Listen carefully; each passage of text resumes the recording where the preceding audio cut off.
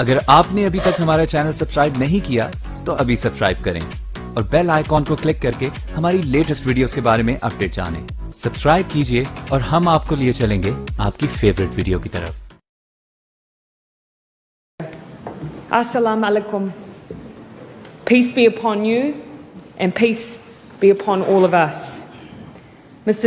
15th of March will now be forever a day etched in our collective memories On a quiet Friday afternoon, a man stormed into a place of peaceful worship and took away the lives of 50 people.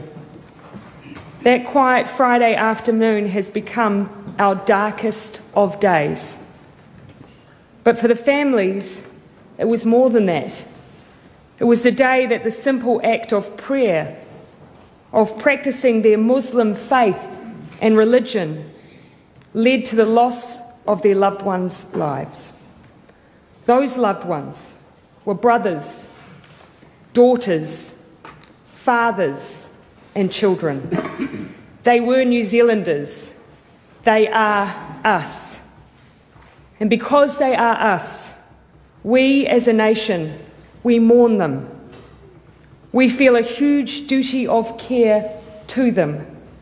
And Mr. Speaker, we have so much we have feel the need to say and to do.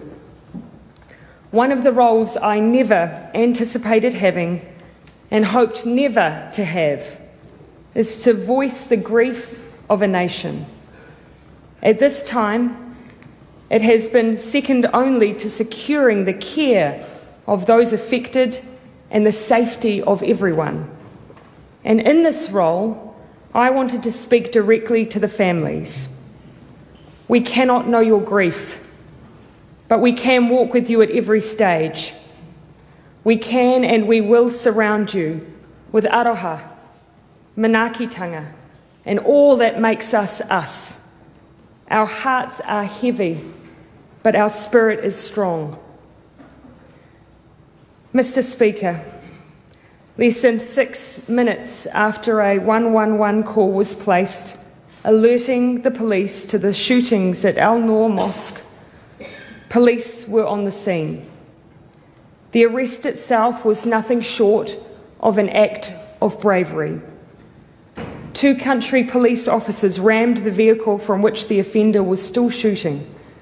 They pulled open his car door when there were explosives inside and pulled him out. I know we all wish to acknowledge that their acts put the safety of New Zealanders above their own, and we thank them. But they were not the only ones who showed extraordinary courage. Naeem Rashid, originally from Pakistan, died after rushing at the terrorist and trying to wrestle the gun from him. He lost his life trying to save those who were worshipping alongside him.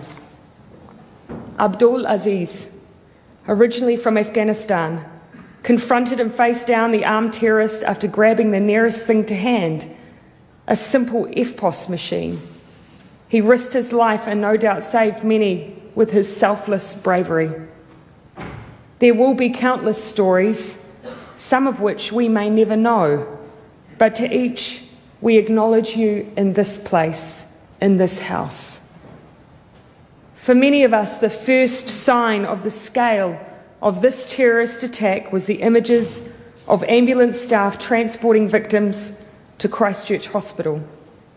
To the first responders, the ambulance staff and the health professionals who have assisted and who continue to assist those who have been injured, please accept the heartfelt thanks of us all. I saw firsthand your care and your professionalism in the face of extraordinary challenges.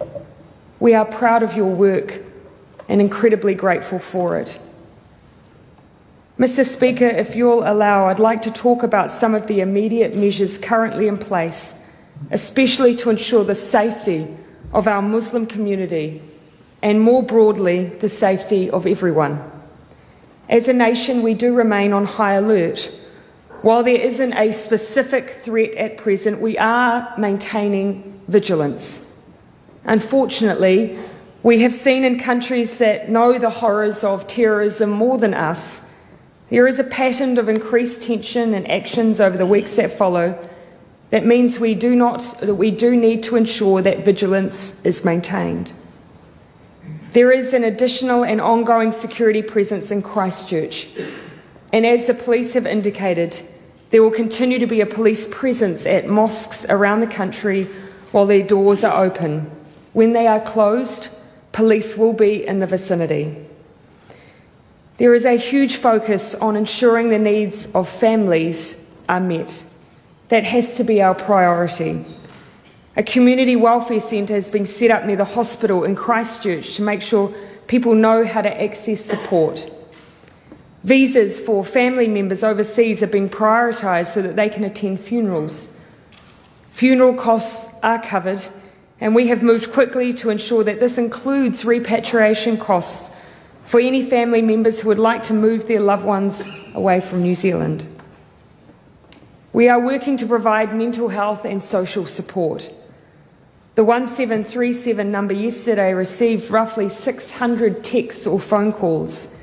They are on average lasting around 40 minutes, and I encourage anyone in need of reaching out to use these services. They are there for you. Our language service has also provided support from more than 5,000 contacts, ensuring whether you are ACC or MSD, you're able to pass on the support that is needed in the language that is needed. To all those working within this service, we say thank you. Our security and intelligence services are receiving a range of additional information. As has been the case in the past, these are being taken extremely seriously and they are being followed up. I know, though, Mr. Speaker, that there have rightly been questions around how this could have happened here. In a place that prides itself on being open, peaceful, diverse. And there is anger that it has happened here. There are many questions that need to be answered, and the assurance that I give you is that they will be. Yesterday, Cabinet agreed that an inquiry, one that looks into the events that led up to the attack on the 15th of March, will occur. We will examine what we did know, could have known, or should have known. We cannot allow this to happen again. Part of ensuring the safety of New Zealanders must include a frank examination of our gun laws. As I've already said, Mr. Speaker, our gun laws will change. Cabinet met yesterday and made in principle decisions 72 hours after the attack. Before we meet again next Monday, these decisions will be announced. Mr. Speaker, there is one person at the centre of this terror attack against our Muslim community in New Zealand. A 28 year old man an Australian citizen, has been charged with one count of murder. Other charges will follow. He will face the full force of the law in New Zealand. The families of the fallen will have justice. He sought many things from his act of terror, but one was notoriety. And that is why you will never hear me mention his name. He is a terrorist he is a criminal. He is an extremist. But he will, when I speak, be nameless. And to others, I implore you speak the names of those who were lost rather than the name of the man who took them. He may have sought notoriety, but we in New Zealand will give him nothing, not even his name.